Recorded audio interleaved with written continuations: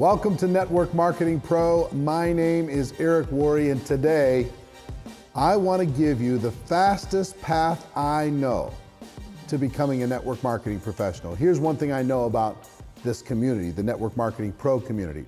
Everybody would love to go full time. Everybody would love to be able to enjoy the freedom that network marketing provides. Everyone would love to be able to move through the ranks, get to those levels so they can enjoy good things in life and also contribute to the lives of others. So, how do you do that? The best way I know, the fastest way I know, is to improve the people that you're spending time with. What do I, what do I mean by that? One of the early lessons I got in my life, I, I, it started with my parents, and then it, and it continued with some of my mentors. My parents would always say, be careful who you become friends with because your friends have an influence on your life. And you've seen that if you're a parent, you know you want your children to have good friends. Why is that? Because those friends will help guide them in a positive direction. Bad friends will help guide them in a negative direction. And when I got involved in network, mar- in network marketing, Jim Rohn was one of my early mentors, and he talked about the power of association that you, he gave me a formula. He said, you become the average of the five people you spend the most time with. And if you think about that, that's true. You're going to generally think how they think, go where they go, do what they do, read what they read, read if they read, eat what they eat. Your language is going to be similar, your interests are going to be similar, your ambitions are going to be similar, and it's very difficult to be the Lone Ranger inside of a negative influence and try to influence a larger group of people. That's what some people try and do. Well, I'm gonna, I'm gonna change everybody around me. Well, when you dance with the devil, the devil doesn't change. The devil changes you. So negative influence changes you. So, how does this apply to network marketing? Here's how it applies. If you're not focused, find a way to get around the most focused and productive people that you can possibly find. Make friends with those people. Don't hang out as much with people who are lazy, people who procrastinate, people who are filled with excuses, people who are blaming all the time. Those people are going to cause you to procrastinate and blame and give excuses and complain. Now, if you get around positive people like that, and the great thing about network marketing is, is we have a, a large pool of people to choose from. People in our company, people in our upline, people in our downline that we can choose from in order to be able to get around and learn from. Okay? So if that's in just a general area, if get around people who are learning, get around people who are growing, get around people who are always striving to be better. If you don't know, for example, uh, how to recruit very well, or you're insecure in recruiting, the fastest way I know for you to become a good recruiter it's not in the study. Study, there's a, a, how many videos have I done on how to recruit? Yes, the information is important. However, the environment is many times more important than the information. So find people who are great recruiters and listen to those people, spend time with those people. Uh, if, if you're not good at doing presentations, find a way to develop relationships and friendships with people who are doing great presentations. If you can't get people to attend your company events, find people who are great at getting people to attend your company events and find a way to friend those people up and listen to what they do and watch what they do.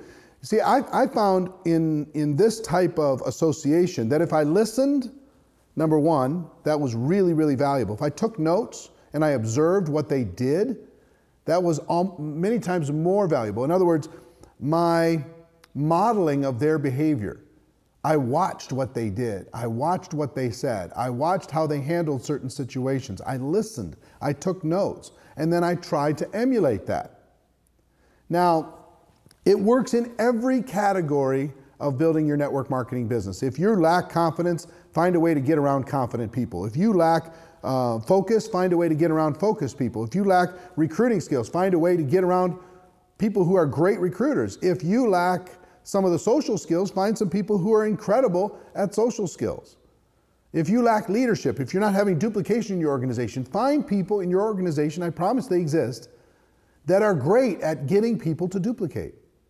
Now, here's the thing it's a little tricky at the beginning because sometimes the people who are really good at those things, they're very busy. And you can't just come in as a needy person and come into their group and just barge your way in. You have to earn your way in. See, if you become the average of the five people you spend the most time with, where do you want to be on that list of five? Do you want to be at the top, the best of the five, or do you want to be the worst of the five? Many people say, well, I, I want to be the best. Well, that's, that, that will feed your ego and it'll steal from your future because here's where you want to be.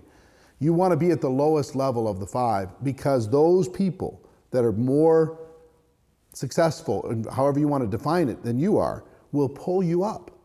And if you're at the top of the five, those people at, below you will pull you down. So successful people understand that if you come in at the bottom rung of their circle of influence, it's likely that you may distract them. You may pull them down a bit. So you have to earn it. So, how did I earn it? At the very beginning, I had 18 jobs. By the time I was 22 years old, I was a struggling person in network marketing. I've been where you've been. I understand the challenges of network marketing. So, what do you do? How do you get around? Now, the great thing is if you have an upline, and all of you do, you can search into the upline. And guess what the upline's uh, hoping for and waiting for and praying for? Somebody in their group that's hungry, that reaches out to them. Somebody who's hungry and is willing to work to get into the group.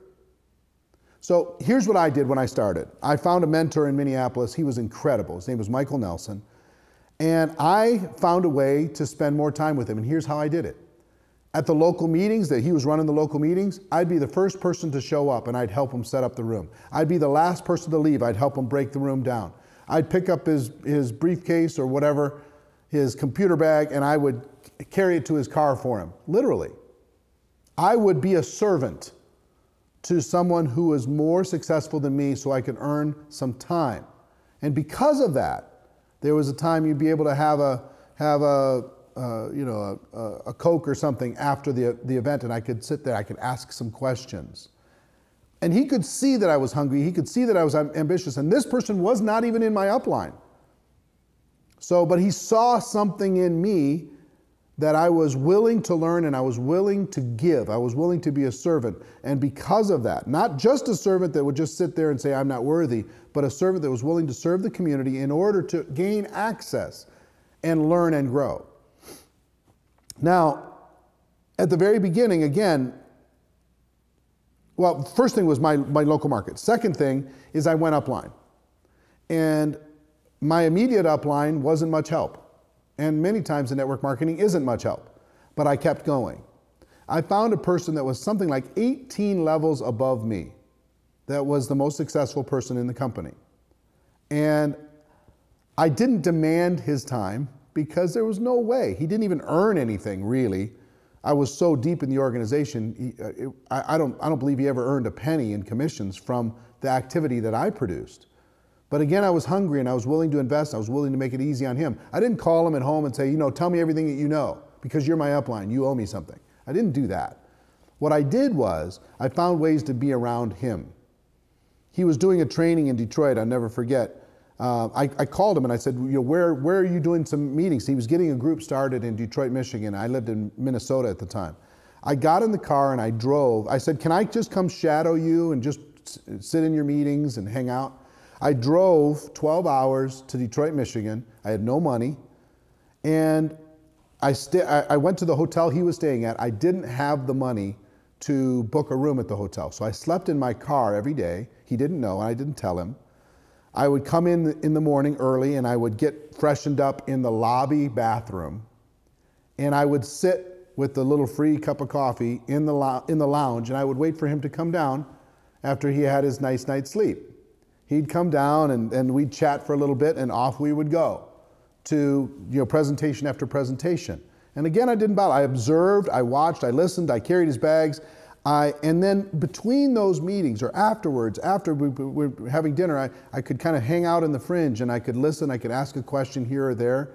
And I gained some insights during that trip that were incredible. And I, I started doing that on a regular basis. I started seeking out knowledge from people who are more successful, influential, powerful, skillful than I was. So, one was in my local market, I served and I gained access. Second was in my upline. I served and I gained access. I went to the home office. I, I drove to the home office. Back then, it was in Memphis, Tennessee, uh, from Minneapolis. Again, it was, I don't know, 14 hour drive. I drove there just to meet the people at the home office, to take a home office tour and to meet the influential people so they knew my name. Why did I do that? So my name would start being talked about here and there. Hey, this young kid, he came down to the home office and he's, he's a sharp kid. And if that name came up around an influential person, maybe I could gain some access because of that. That helped me tremendously. So, my company, my local market, and my upline. Now, in addition to this, it's, it, you know, some people say take a millionaire to lunch. It's difficult to take a millionaire to lunch because they're busy and they're protective of their circle of influence because they understand that you're going to bring their average down. So here's what I did I drove this nasty, ridiculous AMC Spirit car. If you ever want to Google a car, it's the most miserable car in the history of cars. It had a gas leak. The window didn't go all the way down, and it would it would rotate gas through the windows, you know, constantly. It was miserable looking, and it, you know, the muffler was half off, and all this kind of stuff. So every time I went to meet with anyone, I, I parked around the corner and I walked. I didn't want them to see my car. But so with all of this challenge, how do I get, get influence? You know what, what, what really helped me? Um, programs like this. Back then, it was audio cassette. We didn't have the internet and we didn't have video. And we didn't have uh, learning systems like this, and it certainly wasn't free. What I, had, what, what I got my hands on was audio cassettes from people like Jim Rohn and Brian Tracy and Les Brown and Dennis Waitley and Og Mandino and these giants of personal development and they became one of my five. By just being in my car, listening over and over and over, they became one of my five. And what happened when, when, when I, I started to listen over and over and over, I could start to use the language that they used in conversation with other people. I could bring value to a conversation of people more successful than me that maybe didn't hear what I heard from that program. There was one speaker that I, that I really admired, one, one of the top leaders in the company I really admired. I wanted to work with him so bad. And I, I found a way to connect with this person, and um, he was very successful, and I was just a, a fledgling person. And I would start to give him ideas. I would say, Hey, I read this book. You should, I, I, I remember I, I recommended to him, there's a book called Unlimited Wealth by Paul Zane Pilzer, and it talked about distribution was going to be the future of the world. It wasn't going to be manufacturing anymore, it was going to be distribution. Distribution of goods and distribution of information. So I started pulling quotes and I would send him quotes. Hey, uh, you maybe use this in your next presentation. Use this in your next training. And he was he, he used it and people loved it and they were, oh, oh my gosh, this is great. Send me more if you got any more, kid. Right? And I, and I, hosted a training event in Minneapolis, and I, I, had some of the top leaders come in. He was one of the leaders, and, and I sat down afterwards and said, What can I do to spend more time and, and work with you? And uh, he said, Well, I don't know, you know, I'm busy, I'm doing this, I'm doing that, but I do appreciate this. You sent me this, you sent me that. And he went home, and I sent him a, a card afterwards and said, You know, hey, thank you for the time. I really appreciate it. And if I can do anything, one of my goals is to work with you uh, some way, somehow. He was cross line, he wasn't in my organization, but just work together. Why did I want to work together? I, why did I want to serve that relationship as a young man? Because I understood that if I got around people who were committed to excellence, that excellence was going to start to rub off on me. Okay? So, my car being a drive time university, I'll never forget. I put Jim Rohn in my car and I wore it out. Les Brown, Brian Tracy, Dennis Waitley, Og Mandino, greatest salesman in the world, all these different people, Earl Nightingale, uh, Napoleon Hill, everything. I was reading books, I was, I was studying, I was learning, I was growing, and I was listening all the time. And I would imagine that, that uh, uh, Jim Rohn and, And Brian Tracy and Og Mandino were sitting in the back seat of my car and they were just having a conversation. I got to listen in. And that was incredible value for me. So I'll never forget, six years after I started doing that, I'm about uh, 30 years old, and I'm in, a, in my car, which is a nice car now, a decent car, in Dallas, Texas. And in the back seat of my car were Jim Rohn, Brian Tracy, and Og Mandino, for real. And they're sitting in the back seat of my car having a conversation. I'm just driving them to their hotel. But they're having a conversation. I'm going, oh my gosh, I attracted this. I set this thing in motion, and guess what? Now I get to hang around with legends. I get to learn from incredibly wise, unbelievable people. So today, I still, I'm still engaged in this. Why do you think I seek out and interview people like Brian, uh, well, Brian Tracy, of course, but like Tony Robbins? I'll be inter interviewing Sir Richard Branson on June 3rd. I mean, come on the opportunity to spend time with these people. And why will they do it? Because I'm a servant to them. Because I want to help their mission in life. Because I want to, to uh, be of, of value, of service in, in, in some way in their world. And you know what? I found I can earn my way into any group, and so can you. You can earn your way into a group of unbelievable recruiters, a group of unbelievably productive people, of unbelievably successful, moving through the ranks, changing people's lives, ambassadors for the network marketing profession. You can earn your way into that group. Or you can earn your way into a much more negative group. And you know, the bad associations in your life happen automatically. They're like weeds in a garden. They happen automatically. The good ones don't happen automatically. Those only happen by effort and work and focus and determination. The weeds happen automatically. That negative person that's always whispering in your ear, and you know who I'm talking about, the ones that saying, well, that's always blaming, that's always trying to give you justification for not working, that's always trying to distract you, that's always trying to just chip away at your self confidence. You know that person. That person needs to be on the very furthest fringe of your life, unless you want to sacrifice your life to keep them happy. See, here's the thing if you continue to grow, you'll earn your way into different crowds. Some people will grow with you and some people won't. The fact that you grow and they don't doesn't mean you left them behind. It means that they stayed. And you decided that your contribution to the world was more important than making somebody else feel happy and appeasing somebody's negative influence. You cannot afford to be around people who are constantly distracting you from your purpose. You cannot do it. You have to focus on surrounding yourself with greatness, surrounding yourself with positivity, surrounding yourself with learners, surrounding yourself with people who are growing, surrounding yourself with people who are constantly reminding you, hey, you've got greatness inside of you. What are you doing?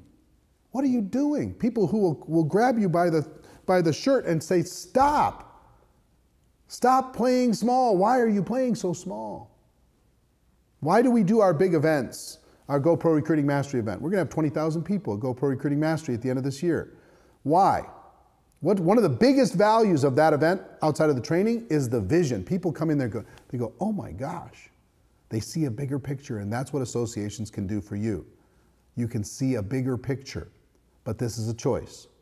And it starts by one, limiting your association with some negative people. In other words, don't spend as much time. Some of them you don't have a choice with, I understand but spend a little less time, be a little bit more busy in positive directions. Some you're going to have to cut the cord. You're going to have to disassociate, at least until you gather enough strength to be a positive influence with them. You're going to have to, for the sake of your own future, your own purpose, your own contribution in this world, you're going to have to make some hard decisions. You're going to have to disassociate with some. But mostly, what I want you to focus on is expanding your association, being so busy and so surrounded by greatness that all those other petty, little, small thinking ideas don't even find their way into your mind because you have filled it with incredible influence. So I hope this gives you some value. I mean, I, I think this, is this lesson is valuable for you. It's, it's valuable for your children. It's valuable for anyone who wants to do something great in the world. Uh, you have a choice.